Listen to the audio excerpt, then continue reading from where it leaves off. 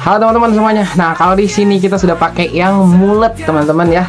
Ini juga banyak banget loh peminatnya. Nah, kalau mulet tuh ya sebenarnya 11 12 seperti yang uh, BTS yang aku bilang BTS itu cuman di bagian belakangnya dia panjang kayak gini, teman-teman ya. Seperti ini.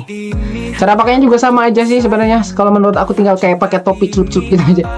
Gampang banget.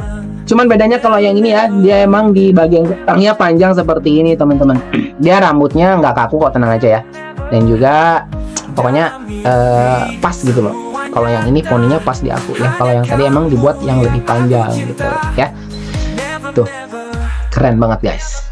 Kalau misalnya kalian mau jangan lupa hubungi aku by WhatsApp di sini ya. Ini untuk yang mulut berapa sih harganya? Seperti biasa guys. Hanya 250.000 aja ya seperti itu teman-teman. Ya jangan lupa hubungi aku by WhatsApp aja kalau misalnya kalian suka dan minat dan mau order ya. Seperti itu ya. Oke. Okay. yang mulat bye bye